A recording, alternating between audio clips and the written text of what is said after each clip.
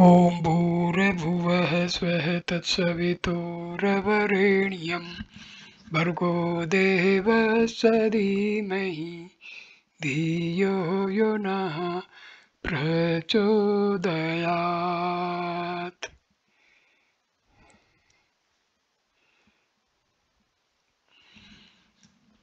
नमस्कार मेरे प्यारे दोस्तों।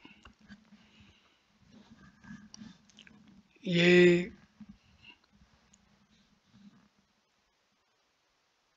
भगवान श्री रामकृष्ण परमहंस के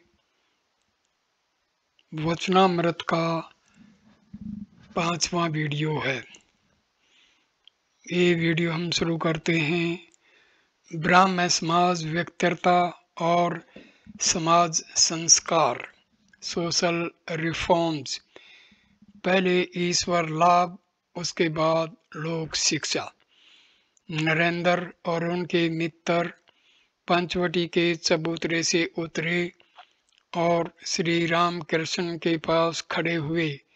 श्री राम कृष्ण दक्षिण मुख होकर उनसे बातचीत करते करते अपने कमरे की तरफ़ आ रहे हैं। श्री राम कृष्ण गोता लगाने से तुम्हें घड़ियाल पकड़ सकते हैं, पर हल्दी चुपड़ने से वे नहीं छू सकते।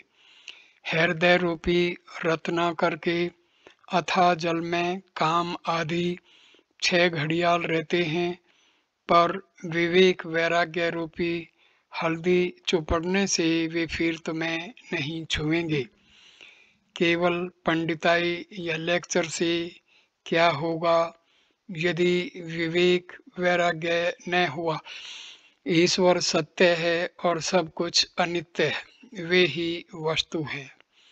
से सब अवस्तु। इसी का नाम विवेक है।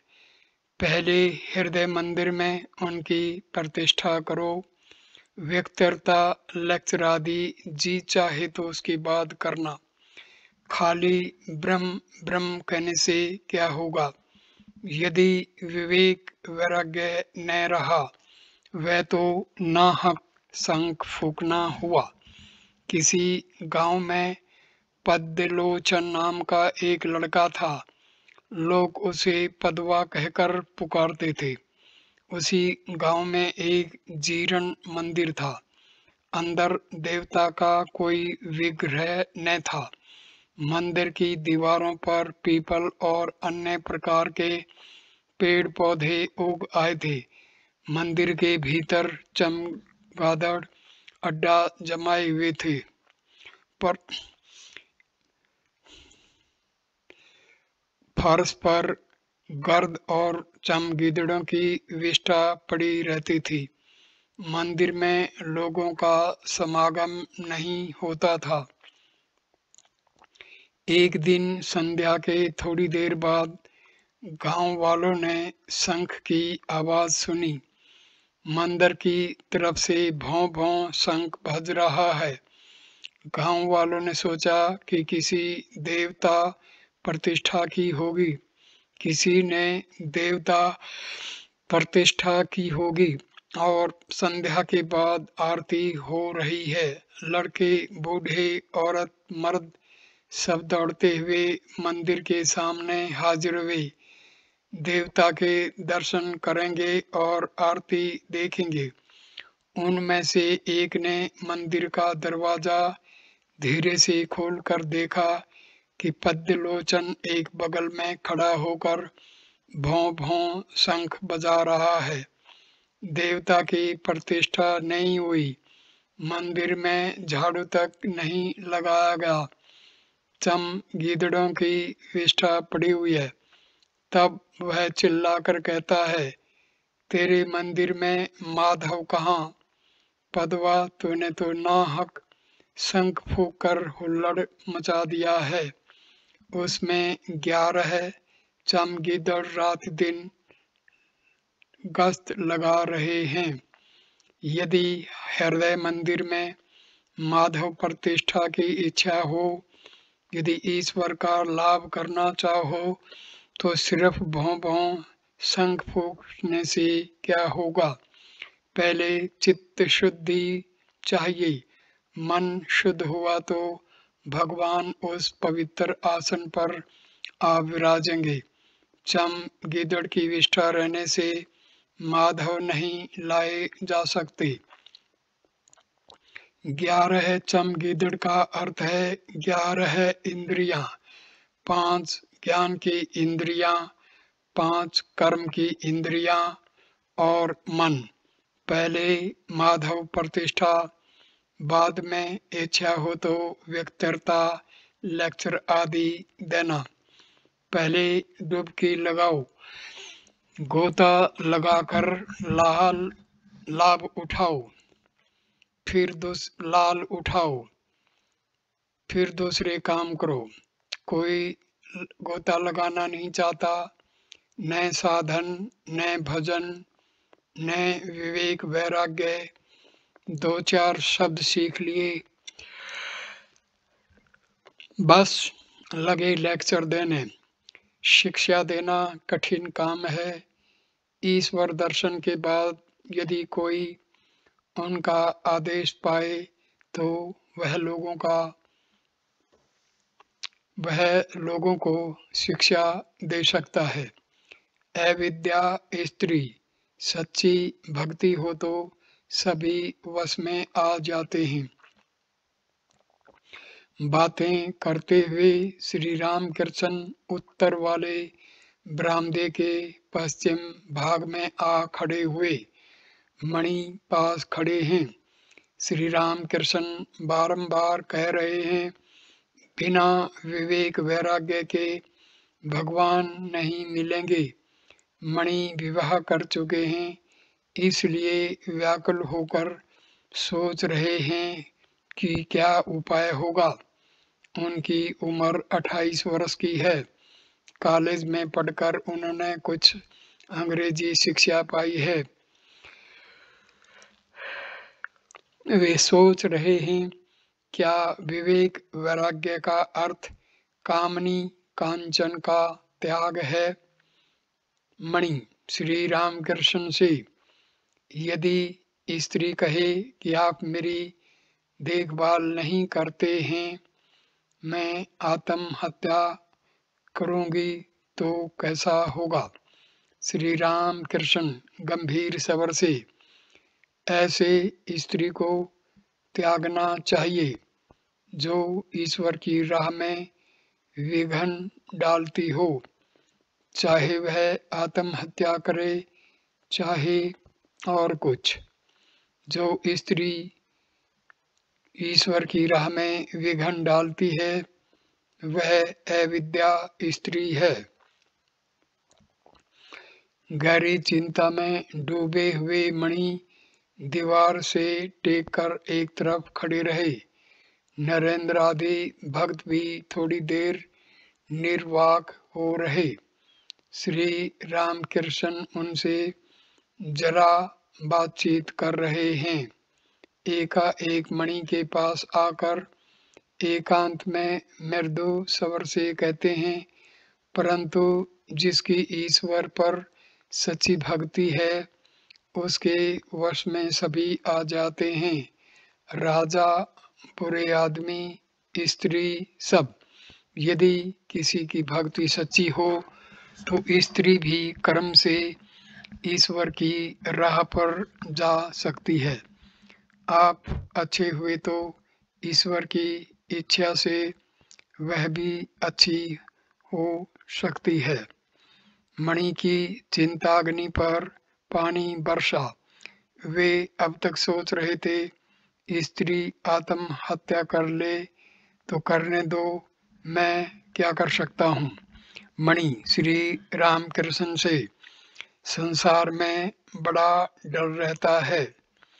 श्री रामकृष्ण, मणि और नरेंद्र से, इसी से तो चैतन्य देव ने कहा था, सुनो भाई नित्यानंद संसारी जीवों के लिए कोई उपाय नहीं।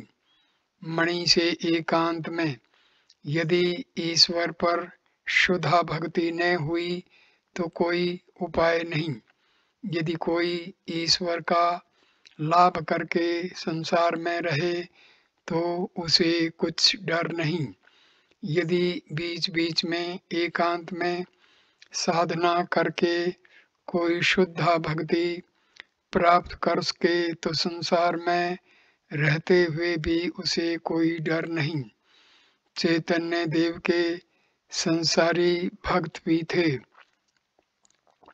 वे तो कहने भर के लिए संसारी थे। वे अनासक्त होकर रहते थे।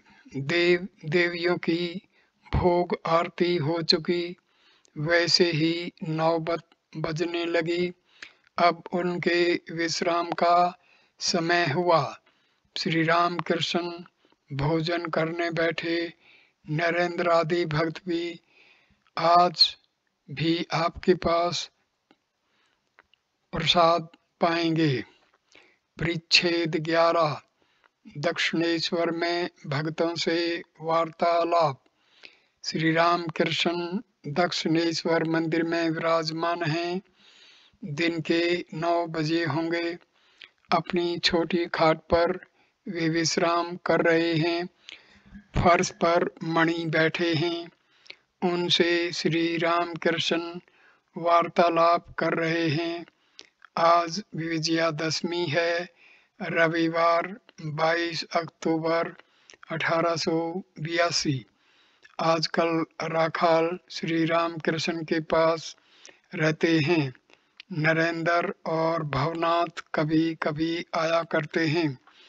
श्री रामकृष्ण के साथ उनके भतीजे रामलाल और हाजरा महाशय रहते हैं।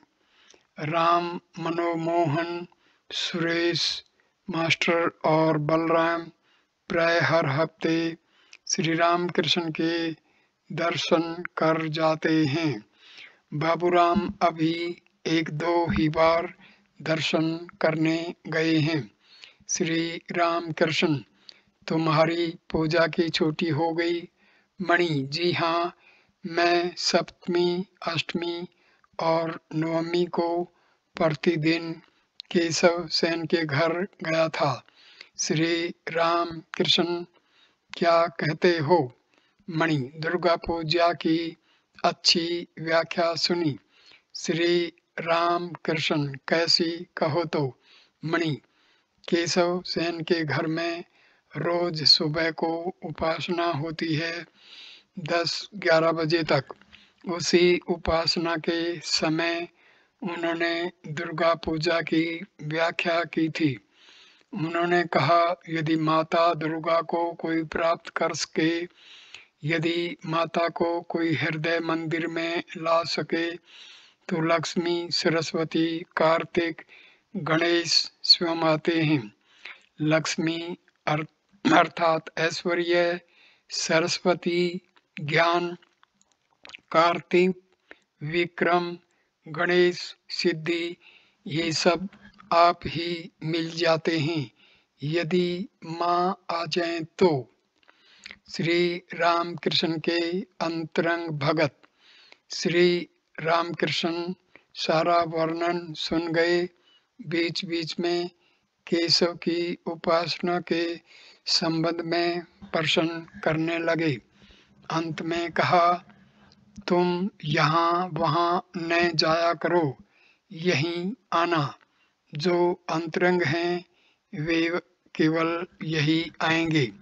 नरेंद्र, भवनाथ, राखाल, हमारे अंतरंग भक्त हैं, सामान्य नहीं। तुम एक दिन इन्हें भोजन कराना। नरेंद्र को तुम कैसा समझते हो? मणि जी, बहुत अच्छा। श्री रामकृष्ण, देखो नरेंद्र में कितने गुण हैं। गाता है, बजाता है, विद्वान है और जितेंद्रिय है। कहता है, विवाह न करूँगा। बचपन से ही ईश्वर में मन है। साकार अथवा निराकार, चिन्ह में मूर्ति ध्यान, मातृ ध्यान। श्री राम कृष्ण मणि से, आजकल तुम्हारे ईश्वर स्मरण का क्या हाल है? मन साकार पर जाता है या निराकार पर? मणि। जी, अभी तो मन साकार पर नहीं जाता और इधर निराकार में मन को सिथर नहीं कर सकता। श्री राम कृष्ण देखो निराकार में तत्काल मन सिथर नहीं होता। पहले पहल, पहले पहल तो साकार अच्छा है मणि। मिट्टी की इन सब मूर्तियों की चिंता करना। श्री रामकृष्ण नहीं नहीं, चिन्मयी मूर्ति की। मणि तो भी हाथ पैर तो सोचने ही पड़ेंगे, परंतु यह भी सोचता हूँ कि पहली अवस्था में किसी रूप की चिंता किए बिना मन सितरने होगा। यह आपने कह भी दिया है। अच्छा वे तो अनेक रूप धारण कर सकते हैं। तो क्या अपनी माता के स्वरूप का ध्यान किया जा सकता है? श्री रामकृष्ण हाँ वे माँ गुरु तथा ब्रह्मई है। मणि चुप बैठे रहे। कुछ देर बाद फिर रामकृष्ण से पूछने लगे, मणि अच्छा निराकार में क्या दिखता है? क्या इसका वर्णन नहीं किया जा सकता? श्री रामकृष्ण कुछ सोचकर वह कैसा है बताऊँ? यह कहकर श्री रामकृष्ण कुछ देर चुप बैठे रहे फिर साकार और निराकार दर्शन में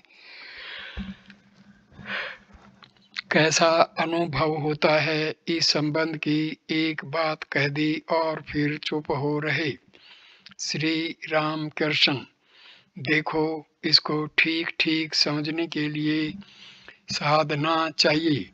यदि घर के भीतर के रतन देखना चाहते हो और लेना चाहते हो तो मेहनत करके कुंजी लाकर दरवाजे का ताला खोलो और रतन निकालो। नहीं तो घर में ताला लगा हुआ है और द्वार पर खड़े हुए सोच रहे हैं। लो, हमने दरवाज़ा खोला। संदूक का ताला तोड़ा, अब यह रतन निकाल रहे हैं। सिर्फ़ खड़े खड़े सोचने से काम नहीं चलेगा, साधना करनी चाहिए। अनंत श्री राम कृष्ण तथा अनंत ईश्वर, सभी मार्ग हैं। श्री वृंदावन दर्शन ज्ञानी तथा अवतारवाद। श्री राम कृष्ण ज्ञानी निराकार का चिंतन करते हैं। वे अवतार नहीं मानते। अर्जुन ने श्री कृष्ण की स्तुति में कहा, तुम पूर्ण ब्रह्म हो। श्री कृष्ण ने अर्जुन से कहा कि, आओ, देखो, हम पूर्ण ब्रह्म हैं या नहीं? यह कहकर श्री कृष्ण अर्जुन को एक जगह ले गए और पूछा, तुम क्या देखते हो? अर्जुन बोला, मैं एक बड़ा पेड़ देख रहा हूँ, जिसमें जामुन के से गुच्छे के गुच्छे फल लगे हैं।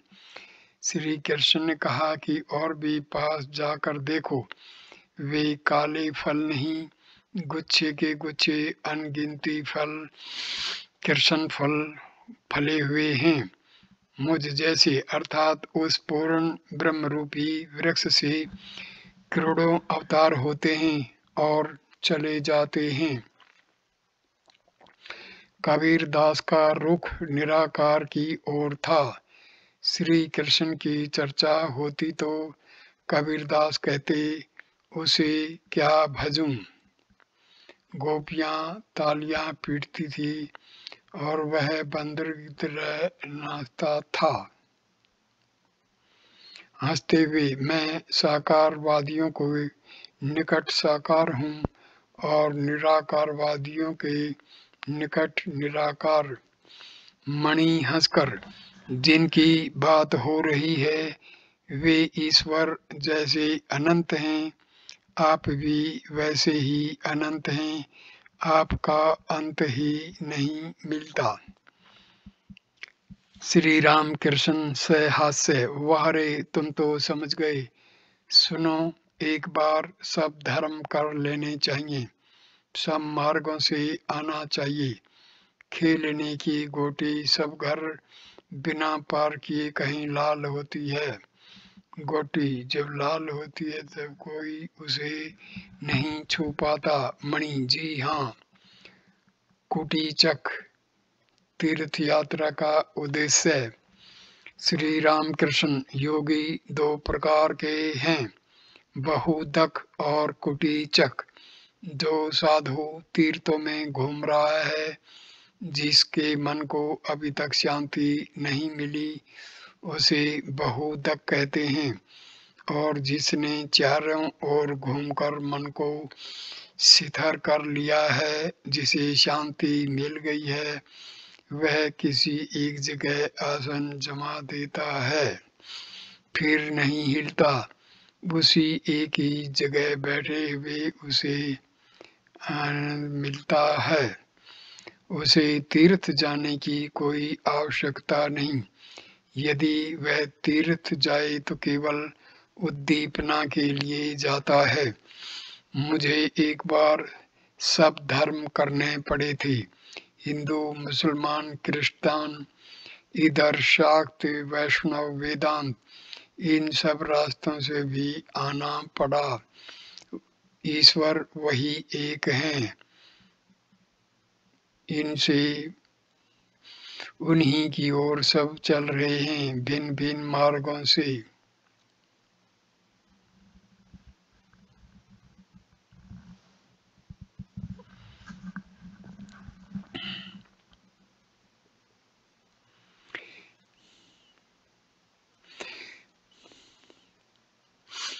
तीर्थ करने गया तो कभी कभी बड़ी तकलीफ़ होती थी।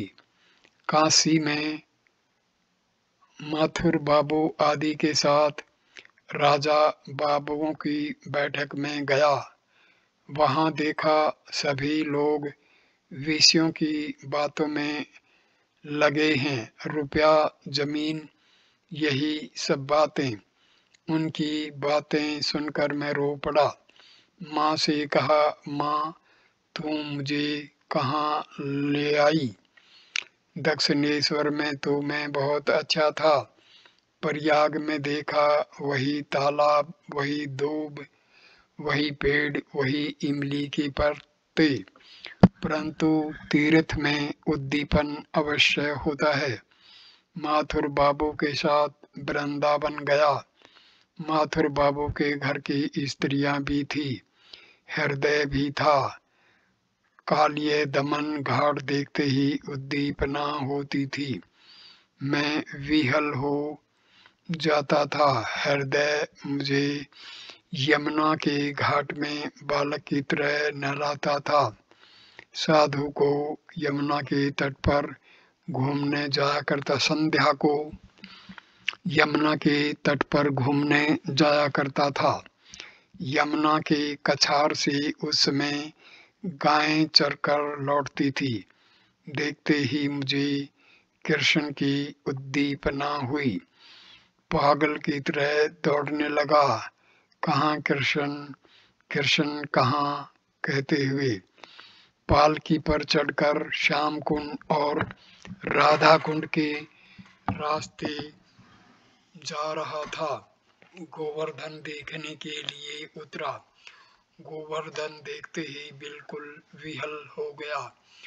दौड़कर गोवर्धन पर चढ़ गया। बाह्य ज्ञान जाता रहा। तब व्रजवासी जाकर मुझे उतार लाए।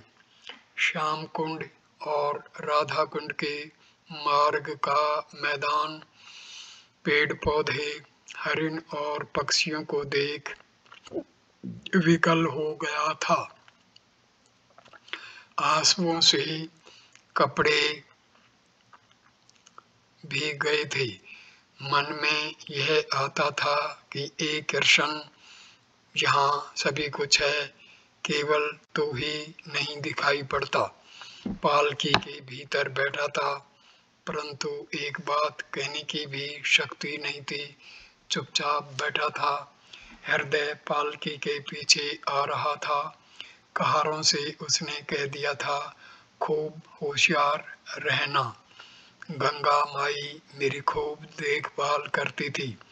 उम्र बहुत थी। निधुवन के पास एक कुटी में अकेली रहती थी। मेरी अवस्था और भाव देखकर कहती थी, ये साक्षात राधिका हैं। शरीर धारण करके आए हैं। मुझे दुलारी कहकर बुलाती थी। उसे पाते ही मैं खाना पीना घर लौटना सब भूल जाता था। कभी कभी हृदय वहीं भोजन ले जाकर मुझे खिला आता था। वह भी खाना पकाकर खिलाती थी। गंगा माई को भावावेश होता था। उसका भाव देखने के लिए लोगों की भीड़ जमा जाती थी। भावावेश में एक दिन हृदय के कंधे पर चढ़ी थी। गंगा माई के पास से देश लौटने की मेरी इच्छा न थी। वहाँ सब ठीक हो गया। मैं सिद्ध भुजिया चावल का भात खाऊँगा। गंगा माई का बिस्तरा घर में एक और लगेगा। मेरा दूसरी ओर सब ठीक हो गया। तब हृदय बोला, तुम्हें पेट की शिकायत है। कौन देखेगा? गंगा माई बोली, क्यों? मैं देखूँगी। मैं सेवा करूँगी। एक हाथ पकड़कर हृदय खींचने लगा और दूसरा हाथ पकड़कर गंगा माई। ऐसे समय माँ की याद आ गई। माँ अकेली काली मंदिर के नौबत खाने में है। फिर न रहा गया। तब कहा, नहीं, मुझे जाना होगा। वृंदावन का भाव बड़ा सुंदर है। नए यात्री जाते हैं तो ब्रज के लड़के कहा करते हैं, हरी बोलो, गठरी खोलो। दिन के ग्यारह बजे श्री राम कृष्ण ने काली का प्रसाद पाया। दोपहर को कुछ आराम करके धूप ढलने पर फिर भक्तों के साथ वार्तालाप करने लगे। बीच बीच में रह रहकर प्रणव नाद या हा चैतन्य उच्चारण कर रहे हैं। काली मंदिर में संध्या आरती होने लगी।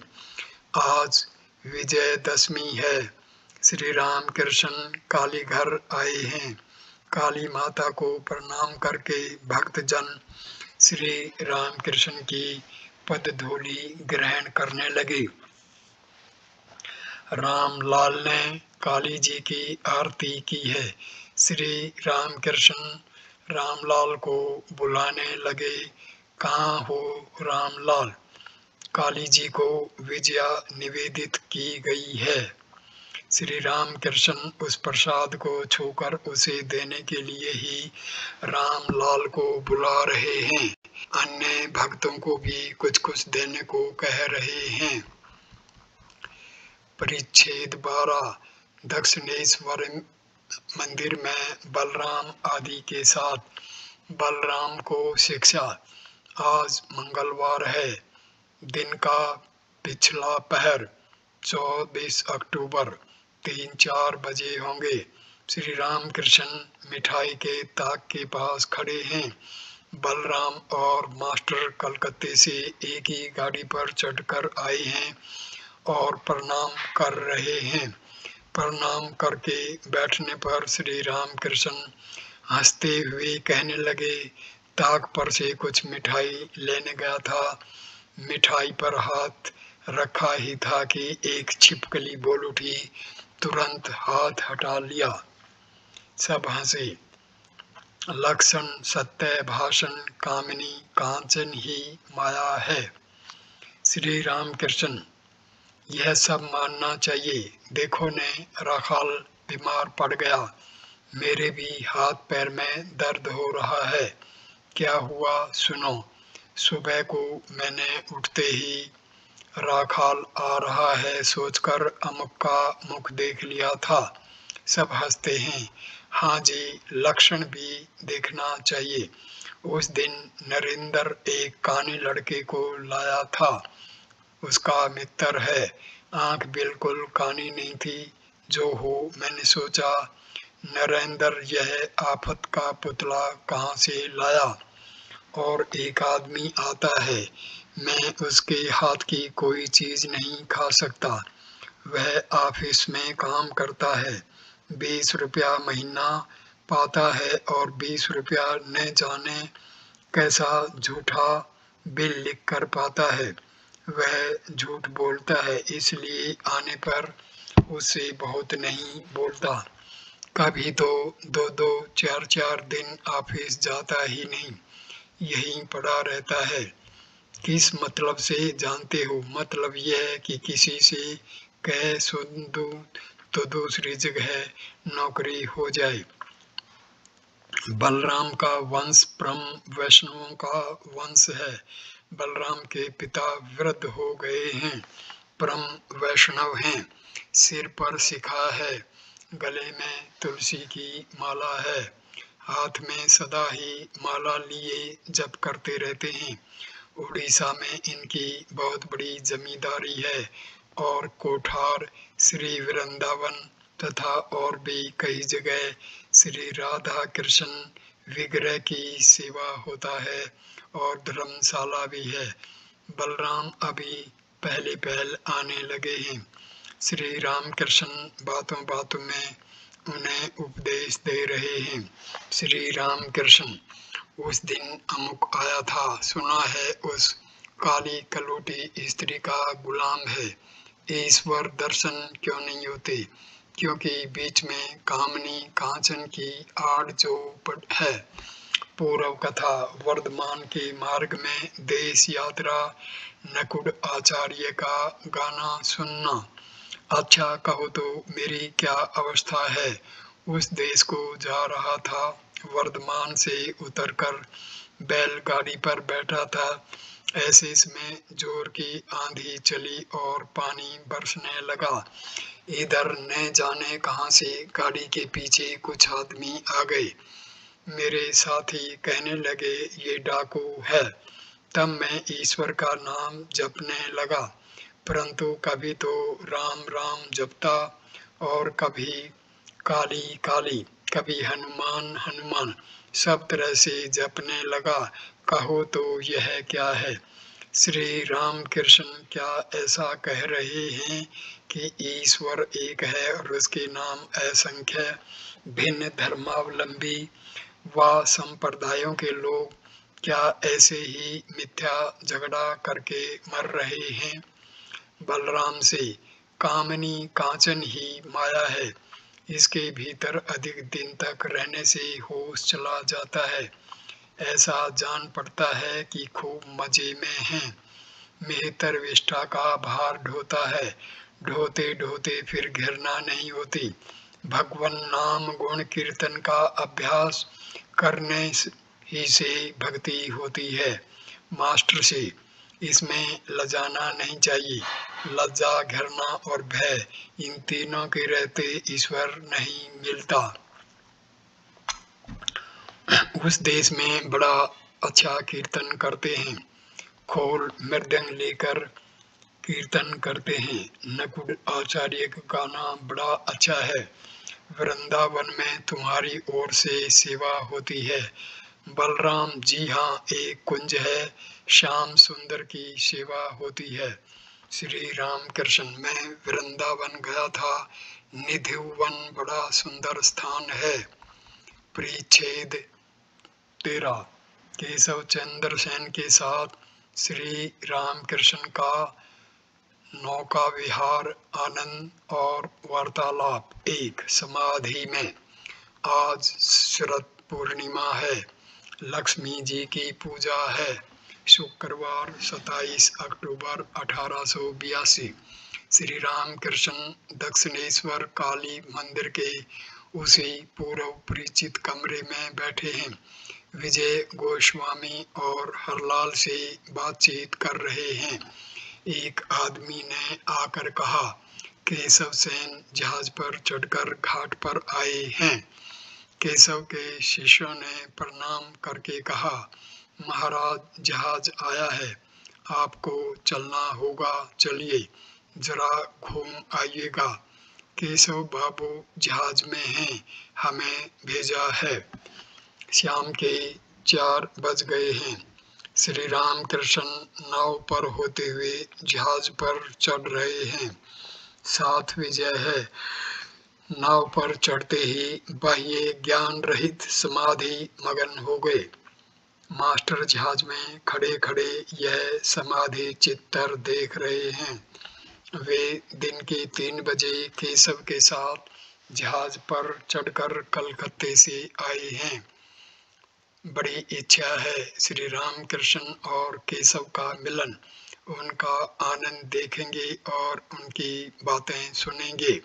केशव ने अपने साधु चरित्र और व्यक्तरता के बल से मास्टर जैसे अनेक वर्गीय युवकों का मन हर लिया है। अनेकों ने उन्हें अपना परम आत्मीय जानकर अपने हृदय का प्रेम समर्पित कर दिया है। केशव अंग्रेज़ी जानते हैं। अंग्रेज़ी दर्शन और साहित्य जानते हैं। फिर बहुत बार देवी देवी देवियों की पूजा को पौधलिकता भी कहते हैं। इस प्रकार के मनुष्य श्री राम कृष्ण को भक्ति और श्रद्धा की दृष्टि से देखते हैं और बीच बीच में दर्शन करने आते हैं। यह बात अवश्य विस्मय जनक है। उनके मन में मेल कहाँ और किस प्रकार हुआ। यह रहस्य भेद करने के लिए मास्टर आदि अनेकों को कौतूहल हुआ। श्री रामकृष्ण निराकारवादी तो हैं, किंतु साकारवादी भी हैं।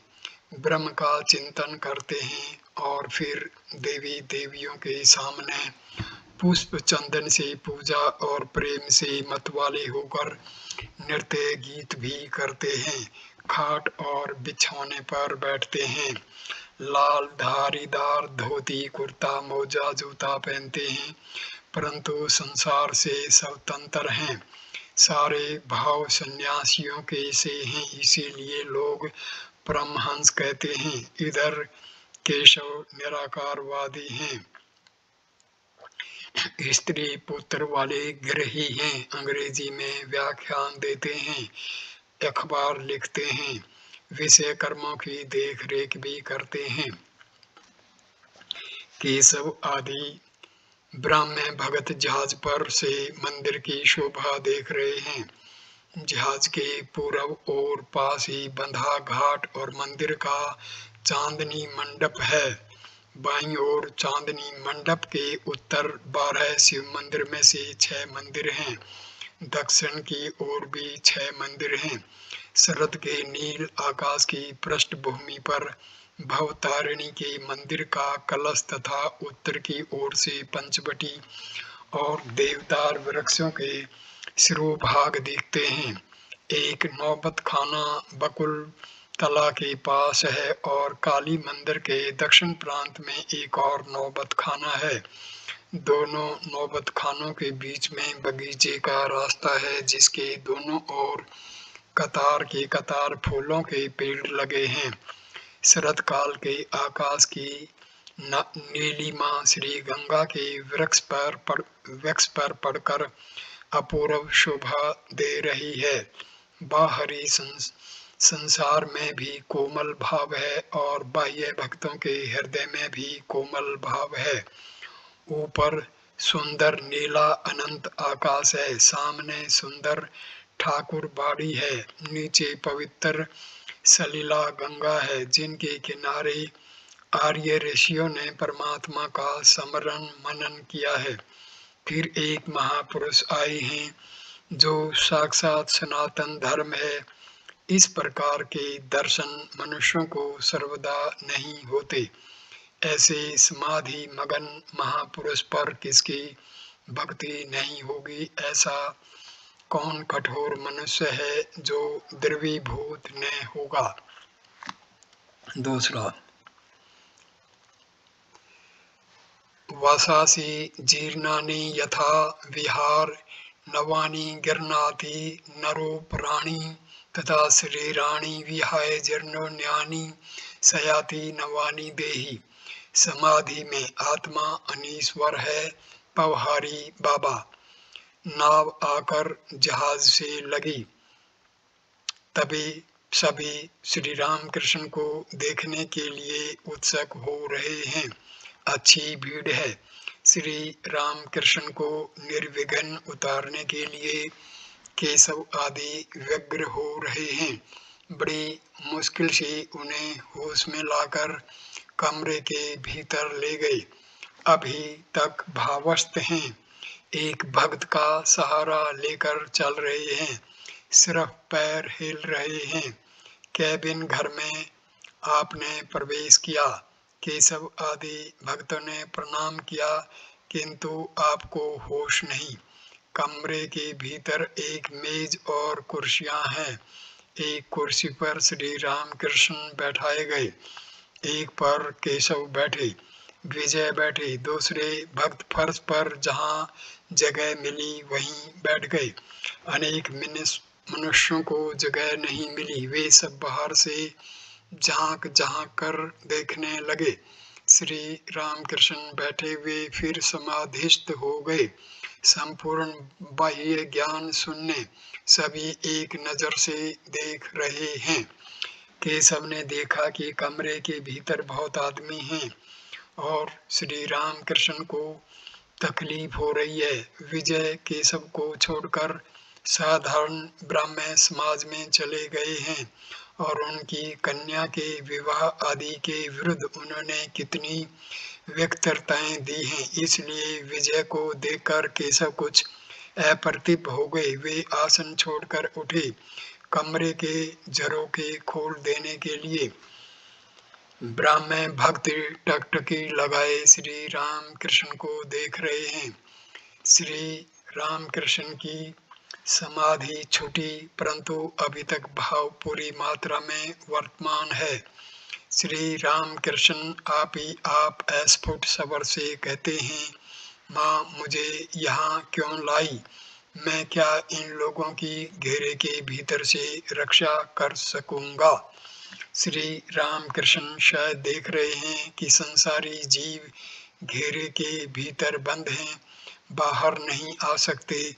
बाहर का उजाला भी नहीं देख पाते। सबके हाथ पैर सांसारिक कामों से बंधे हैं। केवल घर के भीतर की वस्तु उन्हें देखने को मिलती है। वे सोचते हैं कि जीवन का उद्देश्य केवल शरीर, सुख और विषय, कर्म, काम और कांचन है। क्या इसीलिए श्री राम कृष्ण ने कहा, माँ, मुझे यहाँ क्यों लाई? मैं क्या इन लोगों की घेरे के भीतर से रक्षा कर सकूँगा?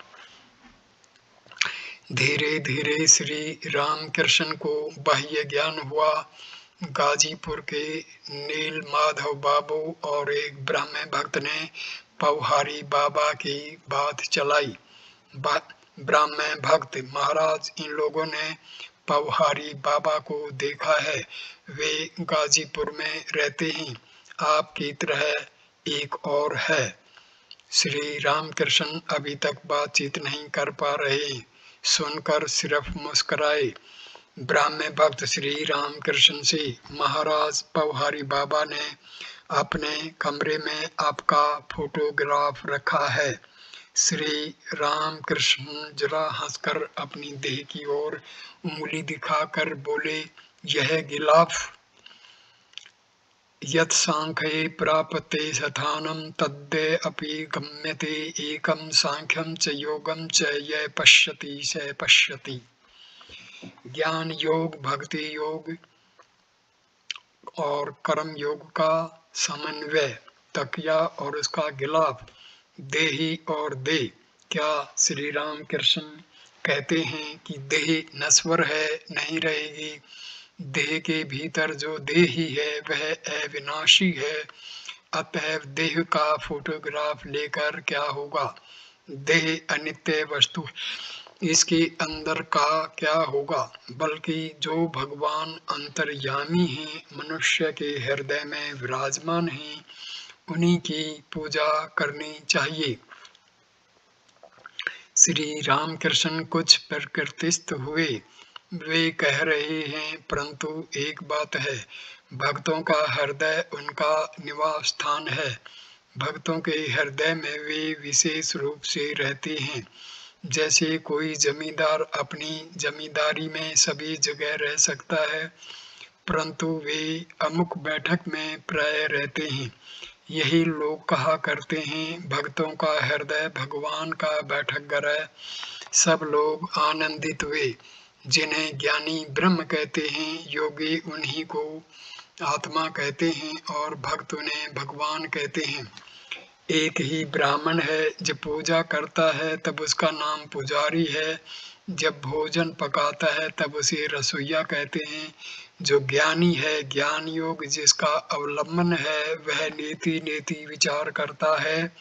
ब्रह्म, न यह न यह है, न वह, न जीव है, न जगत। विचार करते करते जब मन शितर होता है, मन का नाश होता है, समाधि होती है, तब ब्रह्म ज्ञान होता है। ब्रह्म ज्ञानी की सत्य धारणा है कि ब्रह्म सत्य जगत मिथ्या नाम रूप स्वपन तुल्य है। ब्रह्म क्या है यह मुझे नहीं कहा जा सकता। वे व्यक्ति पर्सनल गॉड हैं, यह भी नहीं कहा जा सकता। ज्ञानी इस प्रकार कहते हैं, जैसे वेदांतवादी। परंतु भक्तगण सभी अवस्थाओं को लेते हैं। वे जागृत अवस्था को भी सत्य कहते हैं। जगत को स्वपन वत नहीं कहते, भक्त करते हैं, कहते हैं। यह संसार भगवान का ऐश्वर्य है। आकाश, नक्षत्र, चंद्र, सूर्य, पर्वत, समुद्र जीव जंतु आदि सभी भगवान की सृष्टि है। उन्हीं का ऐश्वर्य है। वे हृदय के भीतर हैं और बाहर भी। उत्तम भक्त कहता है, वे स्वयं ही यही चौबीस तत्व जीव जगत बने हैं। भगत की इच्छा चीनी खाने की है, चीनी होने की नहीं, सब हँसते हैं। भक्त का भाव कैसा है जानते हो? हे भगवान, तुम प्रभु हो, मैं तुम्हारा दास हूँ। तुम माता हो, मैं तुम्हारी संतान हूँ। और यह भी कि तुम मेरे पिता या माता हो, तुम पूर्ण हो, मैं तुम्हारा अंश हूँ। भक्त ये कहने की इच्छा नहीं करता कि मैं ब्रह्म हूँ। योगी भी परमात्मा के दरने दर्शन करने की चेष्टा करता है। उद्देश्य जीवात्मा और परमात्मा का योग है। योगी विश्व से मन को खींच लेता है और परमात्मा में मन लगाने की चेष्टा करता है। इसीलिए पहली पहल निर्जन में शिथर आसन साधकर अनन्य मन से ध्यान चिंतन करता है। परंतु वस्तु एक ही है, केवल नाम का भेद है। जो ब्रह्म है, वही आत्मा है, वही भगवान है। ब्रह्म ज्ञानियों के लिए, ब्रह्म योगियों के लिए, परमात्मा और भक्तों के लिए भगवान।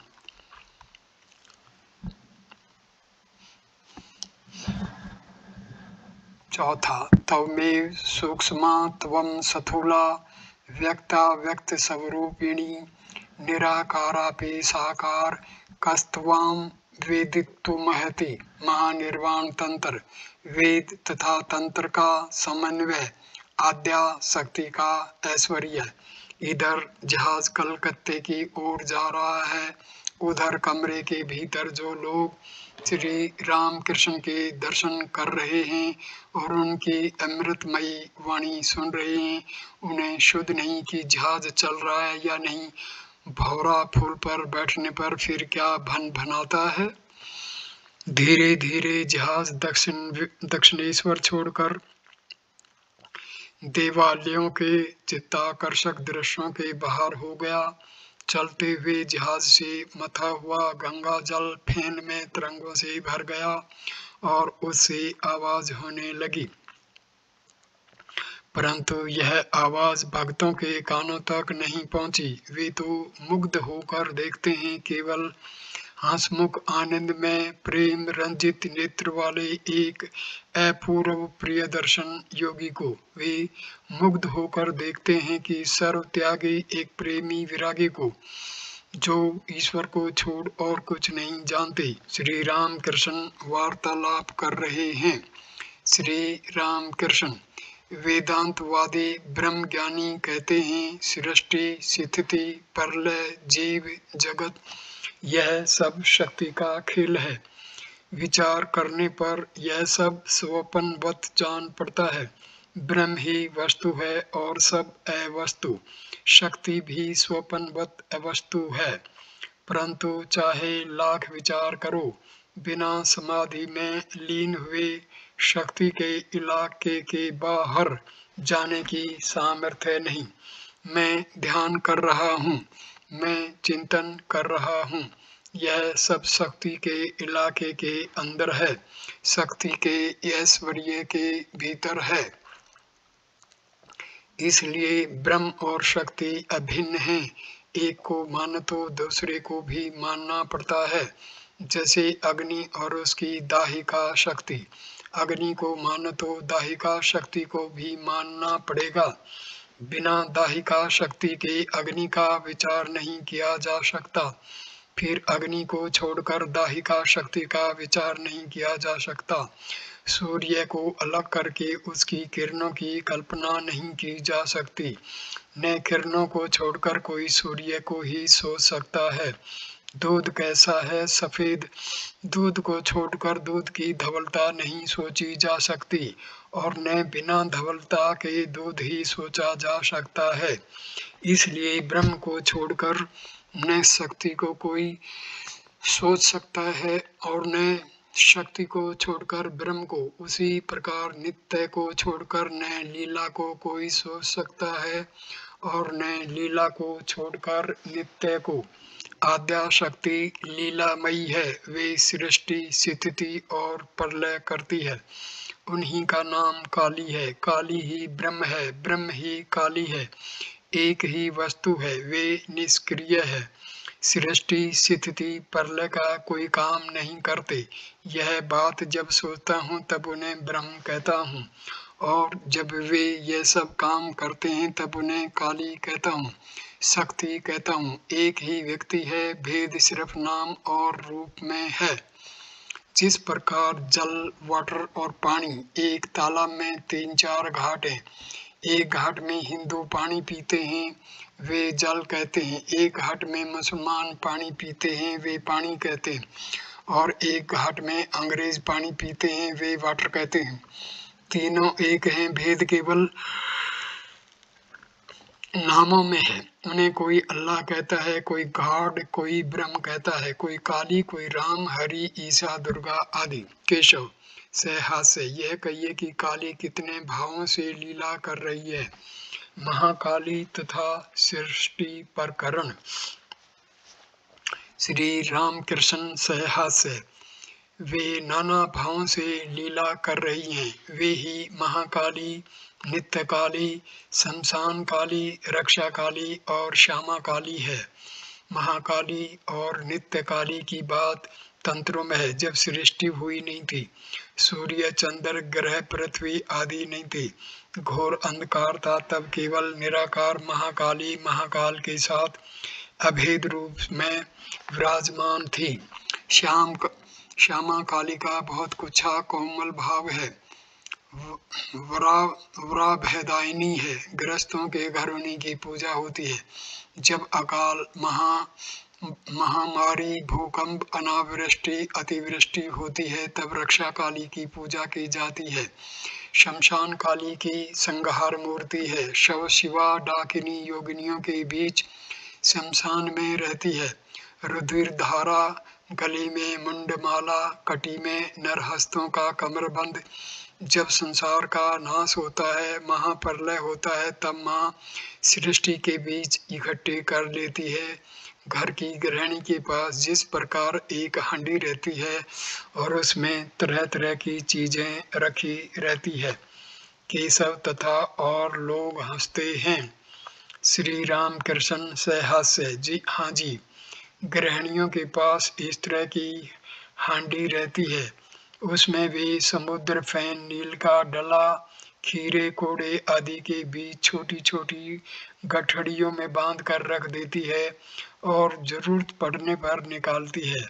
माँ ब्रह्मयी सृष्टिनाश के बाद इसी प्रकार सब बीज इकट्ठा कर लेती है। सृष्टि के बाद आद्या शक्ति संसार के भीतर ही रहती है। वे संसार परसव करती है, फिर संसार के भीतर रहती है। वेदों में उर्नाभ की बात है, मकड़ी और उसका जाला। मकड़ी अपने भीतर से जाला निकालती है और उसी के ऊपर रहती भी है। ईश्वर संसार के आधार और आधेय दोनों हैं। काली ब्रह्म, काली निर्गुण और सगुणा। काली का रंग काला थोड़ी ही है, दूर है, इसी से काला जान पड़ता है। समझ समझने काला नहीं। समझ होने पर काला नहीं रहता। आकाश दूर होने से नीला दिखाई पड़ता है। पास जाकर देखो तो कोई रंग नहीं। समुद्र का पानी दूर से नीला जान पड़ता है। पास जाकर चुल्लू में लेकर देखो कोई रंग नहीं। यह कहकर श्री राम कृष्ण प्रेम से मतवाले होकर गाने लगे, भाव यह है, मेरी माँ क्या काली है? दिगंबरी क्या काला रूप हृदय पद का प्रकाश पूर्ण करता है? गीता के सातवें पाठ का तेरवा श्लोक। विभिर्गुणे भे बविरे भी सर्वमिदम जगत मोहितम ना भी जानाति मामेभ्य परम वयम। यह संसार क्यों है? श्री राम कृष्ण केशव आदि से बंधन और मुक्ति दोनों ही की कर्त्री वे हैं। उनकी माया से संसारी जीव काम कांचन से बदला है और फिर उनकी दया होते ही वह छूट जाता है। वे भवबंधन की फांस काटने वाली तारिणी है। यह कहकर गंधर्व कंठ से भक्त राम प्रसाद का गीत गाने लगे, जिसका आशय यह है, श्यामा माँ संसार रूपी बाज़ार के बीच पतंग उड़ा रही है। यह आशा वायु के सहारे उड़ती है। इसमें माया की डोर लगी हुई है। विषयों के मांझे से यह कर्री हो गई है। लाखों में से दो ही एक पतंगे फटती है और तब हंसकर तालियाँ पीटती है। वे लीलामयी है। यह संसार उनकी लीला है। वे इच्छामयी, आनंदमयी है। लाख आदमी में कहो, एक को मुक्त करती है। ब्राह्म भक्त महाराज, वे चाहे तो सभी को मुक्त कर सकती है तो फिर क्यों हम लोगों को संसार में बाँध रखा है? श्री राम कृष्ण उनकी इच्छा उनकी इच्छा की वे यह सब लेकर खेल करें। छुई छुओवल खेलने वाले सभी लड़के अगर ढाई को दौड़कर छू लें तो खेली बंद हो जाए। और यदि सभी छू लें तो ढाई नाराज़ भी होती है। खेल चलता है तो ढाई खुश रहती है, इसलिए कहते हैं, लाखों में से दो ही एक कटते हैं और तब तू हंसकर तालियाँ पीटती है, सब प्रसन्न होते हैं। उन्होंने मन को आँखों के इशारे कह दिया है, जा संसार में विचर, मन का क्या कसूर है? वे यदि फिर कृपा करके मन को फेर दें तो विषय बुद्धि से छुटकारा मिले, तब फिर उनके पाद पद्यों में मन लगे। श्री राम कृष्ण संसारियों के भाव में माँ के प्रति अभिमान करके गाने लगे, भावार्थ, मैं यह खेद करता हूँ कि तुम जैसी माँ के रहते मेरे जागते हुए भी घर में चोरी हो। मन में होता है कि तुम्हारा नाम लूँ, परंतु समय टल जाता है। मैंने समझा है, जाना है, और मुझे आशय भी मिला है कि यह सब तुम्हारी ही चातुरी है। तुमने न कुछ दिया, न पाया, न लिया, न खाया ये क्या मेरा ही कसूर है? यदि देती तो पाती, लेती और खाती, मैं भी तुम्हारा ही तुम्हें देता और खिलाता। यस, अपयस सुरम कुरस सभी रस तुम्हारे हैं। रसेश्वरी, रस से रहकर यह रस भंग क्यों? प्रसाद कहता है, तुम ही ने मन को पैदा करते इसमें इशारा कर दिया है। तुम्हारी यह सृष्टि किसी की कुदृष्टि से जल गई है, पर हम उसे मीठी समझकर भटक रहे हैं। उन्हीं की माया से भूलकर मनुष्य संसारी हुआ है। प्रसाद कहता है तुम ही ने मन को पैदा करते इसमें इशारा कर दिया। कर्म योग, संसार तथा निष्काम कर्म। ब्राह्म भक्त महाराज बिना सब त्याग किए क्या ईश्वर नहीं मिलते? श्री राम कृष्ण सहस्य, नहीं जी, तुम लोगों को सब कुछ क्यों त्याग करना होगा? तुम लोग तो बड़े अच्छे हो, इधर भी हो और उधर भी। आधा खांड और आधा सीरा। लोग हँसते हैं, बड़े आनंद से हो। नक्स का खेल जानते हो, मैं ज़्यादा काट कर जल गया हूँ। तुम लोग बड़े सयान हो। कोई दस में हो, कोई छह में, कोई पाँच में। तुमने ज़्यादा नहीं काटा, इसलिए मेरी तरह जल नहीं गए। खेल चल रहा है यह तो अच्छा है, सब हंसे। सच कहता हूँ, तुम लोग गृहस्थी में हो, इसमें कोई दोष नहीं, पर मन ईश्वर की ओर रखना चाहिए, नहीं तो न होगा। एक हाथ से काम करो और एक हाथ से ईश्वर को पकड़े रहो। काम खत्म हो जाने पर दोनों हाथों से ईश्वर को पकड़ लेना। सब कुछ मन पर निर्भर है। मन ही से बद्ध है और मन ही से मुक्त। मन पर जो रंग चढ़ाओगे, उसी से वह रंग जाएगा। जैसे रंगरेज के घर के कपड़े लाल रंग से रंगे तो लाल, हरे से रंगे तो हरे, सब्ज से रंग, सब्ज जिस रंग से रंगो वही रंग चढ़ जाएगा। देखो न, अगर कुछ अंग्रेज़ी पढ़ लो तो मुँह से अंग्रेज़ी शब्द आ जाते हैं। फुट, फट, इट, पिट। सब हंसे और पैरों में बूट, जूता, सीटी बजाकर गाना, ये सब आ जाते हैं। और पंडित संस्कृत पढ़े तो श्लोक आवृत्ति करने लगता है। मन को यदि कुसंग में रखो तो वैसी ही बातचीत, वैसी ही चिंता हो जाएगी। यदि भक्तों के साथ रखो तो ईश्वर, चिंतन, भक्त, प्रसंग, ये सब होंगे। मन ही को लेकर सब कुछ है। एक और स्त्री है और एक और संतान। स्त्री को एक भाव से और संतान को दूसरे भाव से प्यार करता है, किंतु एक ही है मन। गीता के अठारहवें अध्याय का छियासठवां श्लोक, सर्वधर्मान परित्यज्य मामेकम शरणम वर्जा एम त्वा सर्वपापिभ्यो मोक्ष या श्राणी मा शुच ईसाई धर्म ब्रह्म समाज और पापवाद। श्री राम कृष्ण ब्राह्म भक्त के प्रति मन ही मन बंधन है और मन ही में मुक्ति। मैं मुक्त पुरुष हूँ, चाहे संसार में रहूँ, चाहे अरण्य में। मुझे बंधन कैसा? मैं ईश्वर की संतान हूँ। राजा धीराज का बेटा, मुझे भला कौन बाँध सकता है? सांप के काटने पर यदि दृढ़ता के साथ यह कहा जाए कि विष नहीं है तो सचमुच विष उतर जाता है। उसी प्रकार दृढ़ता के साथ यह कहते कहते कि मैं बद्ध नहीं, मैं मुक्त हूँ। वास्तव में वैसा ही हो जाता है, मनुष्य मुक्त ही हो जाता है। किसी ने ईसाइयों की एक किताब दी थी, मैंने पढ़कर सुनाने के लिए कहा। उसमें केवल पाप पाप ही भरा था। केशव के प्रति तुम्हारे ब्राह्मण समाज में भी केवल पाप पाप ही सुनाई देता है। जो व्यक्ति बार बार मैं बद्ध हूँ, मैं बद्ध हूँ कहता रहता है, वह बद्ध ही हो जाता है। जो दिन रात मैं पापी हूँ, मैं गप्पी हूँ, यही रटता रहता है, वह सचमुच पापी ही बन जाता है। ईश्वर के नाम पर इस प्रकार का ज्वलंत विश्वास होना चाहिए। क्या मैंने उनका नाम लिया है? अब भी मुझमें पाप रह सकता है। मुझमें भला पाप कैसा? मुझे भला बंधन कैसा? कृष्ण किशोर सनातनी हिंदू था। सदाचार निष्ठ ब्राह्मण। एक बार वह वृंदावन गया था। एक दिन घूमते घूमते उसे प्यास लगी। उसने कुएँ के पास जाकर देखा, एक आदमी खड़ा है। उसने उससे कहा क्यों रे तू मुझे एक लोटा पानी पिला सकता है? तू कौन जाता है? वह बोला, महाराज, मैं नीची जाति का हूँ, चमार हूँ। कृष्ण किशोर ने कहा, तू शिव शिव कह ले, अब पानी खींच दो। भगवान का नाम लेने से मनुष्य का शरीर, मन सब कुछ शुद्ध हो जाता है। केवल पाप नरक, यही सब बात क्यों? एक बार कहो कि जो कुछ अयोग्य काम किए उन्हें फिर नहीं करूँगा और उनके नाम पर विश्वास रखो।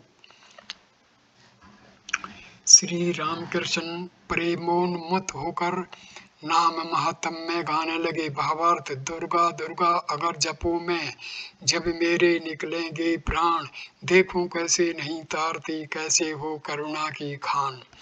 मैंने माँ के निकट केवल भक्ति मांगी थी। हाथ में फूल लेकर माँ के पाद पद्यों में चढ़ा था। कहा था, माँ, यह लो तुम्हारा पाप, यह लो तुम्हारा पुण्य। मुझे शुद्ध भक्ति दो। यह लो तुम्हारा ज्ञान, यह लो तुम्हारा अज्ञान। मुझे शुद्ध भक्ति दो। यह लो तुम्हारी सोचिता। यह लो तुम्हारी असोचिता। मुझे शुद्ध भक्ति दो। यह लो तुम्हारा धर्म, यह लो तुम्हारा अधर्म। मुझे शुद्ध भक्ति दो। ब्राह्मण भक्तों के प्रति एक एक राम प्रसाद का गीत सुनो। भावार्थ, चल मन घूमने चले, काली रूपी कल्पत्रु के नीचे, तुझे धर्म, अर्थ, काम, मोक्ष चारों फल पड़े मिल जाएँगे। अपनी प्रवृत्ति और निवृत्ति इन दोनों पत्नियों में से तो केवल निवृत्ति को ही साथ ले। उसके विवेक नामक बेटे से तत्व ज्ञान की बातें पूछना। सोची असोची दोनों को साथ लेकर तू दिव्य ग्रह में कब सोएगा? जब इन दो सौतों में प्रति, प्रीति स्थापित होगी, तभी तो श्यामा माँ को पाएगा। अहंकार और अविद्या तेरे पिता और माता हैं, दोनों को भगा दे। यदि मोह तुझे पकड़कर खींचे तो तू धैर्य रूपी खूंटे को पकड़े रह। धर्म, अधर्म इन दो बकरों को अपेक्षा, उपेक्षा रूपी खूटी से बांधे रख। यदि वे नहीं माने तो ज्ञान खड़ग द्वारा उनका बलिदान कर देना। प्रवृत्ति नामक पहली पत्नी के संतान को दूर ही में समझना। यदि वे न माने तो उन्हें ज्ञान सिंधु में डुबो देना।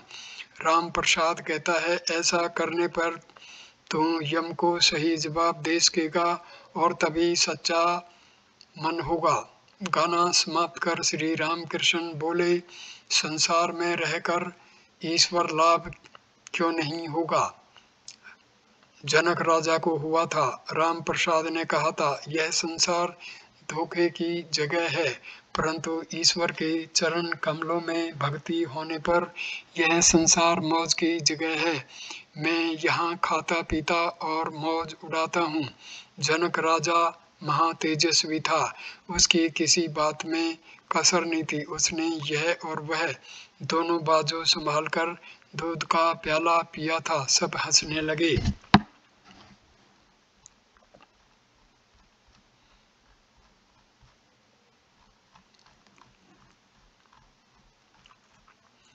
गृहस्थ के लिए उपाय एकांतवास तथा विवेक। परंतु कोई एकदम फट से जनक राजा नहीं बन जाता। जनक राजा ने निर्जन में बहुत तपस्या की थी। संसार में रहते हुए भी बीच बीच में एकांतवास करना चाहिए। गृहस्थी से बाहर निकलकर एकांत में अकेले रहकर अगर भगवान के लिए तीन तीन तीन दिन ही रोया जाए तो वह भी अच्छा है। यहाँ तक कि यदि अवसर पाकर एक ही दिन निर्जन में रहकर भगवत चिंतन किया जाए तो वह भी अच्छा है। लोग स्त्री पुत्रों के लिए रोकर लोटा भर आँसू बहाते हैं। ईश्वर के लिए भला कौन रोता है? बीच बीच में निर्जन में रहकर भगवत प्राप्ति के लिए साधना करनी चाहिए। संसार के भीतर विशेषकर काम काज की झंझट में रहकर प्रथम अवस्था में मन को सितर करते समय अनेक बाधाएँ आती हैं। जैसे रास्ते के किनारे लगाए हुए पेड़ जिस समय वह पौधे का स्थिति में रहता है, उसमें घेरा न लगाने पर गाय बकरियाँ खा जाती हैं। प्रथम अवस्था में घेरा, किंतु बाद में तना मज़बूत होने पर घेरे की आवश्यकता नहीं रहती, फिर उसे हाथी बांधने पर भी कुछ नहीं होता। रोग तो हुआ है सन्निपात का, पर जिस कमरे में सन्निपात का रोगी है, उसी कमरे में पानी का पानी का घड़ा और इमली का अचार रखा हो। अगर रोगी को आगम, आराम पहुंचाना चाहते हो तो हिले उसे कमरे से हटाना होगा। तो पहले उसे उस कमरे से हटाना होगा। संसारी जीव मानो सन्निपात के रोगी हैं और विषय है पानी का घड़ा। विषय भोग तृष्णा मानो जल तृष्णा है। इमली आचार की बात सिर्फ़ सोचते हुए मुँह में पानी आ जाता है। वे चीज़ें पास नहीं लाना पड़ती। ऐसी चीज़ें रोगी के कमरे में ही रखी हो। संसार में स्त्री सहवास ऐसी ही चीज़ है, इसलिए निर्जन में जाकर चिकित्सा करना आवश्यक है। विवेक वैराग्य प्राप्त करके संसार में प्रवेश करना चाहिए। संसार समुद्र में दादी मगर हैं। बदन में हल्दी मलकर पानी में उतरने पर मगर का डर नहीं रहता। विवेक व्यंग में ही हल्दी है। सद सत विचार का नाम विवेक है। ईश्वर ही सत्य है, नित्य वस्तु है, बाकी सब असत्य अनित्य दो दिन के लिए है। यह बोध ही विवेक है और ईश्वर के प्रति अनुराग चाहिए, प्रेम आकर्षक चाहिए, आकर्षण चाहिए। जैसे गोपियों का आकर्षण के प्रति था, एक गाना सुनो, भावार्थ। विपिन में बंसी बज उठी, मुझे तो जाना ही होगा। शाम मेरी राह देख रहा है। तुम लोग चलोगे या नहीं बताओ। तुम लोगों के लिए श्यामा एक शाम एक नाम है पर सखी मेरे लिए शाम हृदय की व्यथा है। वैसी तुम्हारे कान में बज, बंसी तुम्हारे कान में बजती है पर मेरे तो वह हृदय में बजती है। श्याम की बंसी बज रही है हे राधे अब चलो तुम्हारे बिना कुंज में शोभा नहीं आती। श्री रामकृष्ण ने अश्रुपूर्ण नेत्रों से यह गीत गाते गाते केशव आदि भक्तों से कहा राधा कृष्ण को मानो या न मानो, पर इनके इस आकर्षण को तो ग्रहण करो। ईश्वर के लिए इस प्रकार की व्याकुलता हो, इसके लिए प्रयत्न करो। व्याकुलता के आते ही उन्हें प्राप्त किया जा सकता है। यहीं पर मैं इस वीडियो को विराम देता हूँ। अगला वीडियो हम शुरू करेंगे तेरहवें पाठ का सातवां भाग।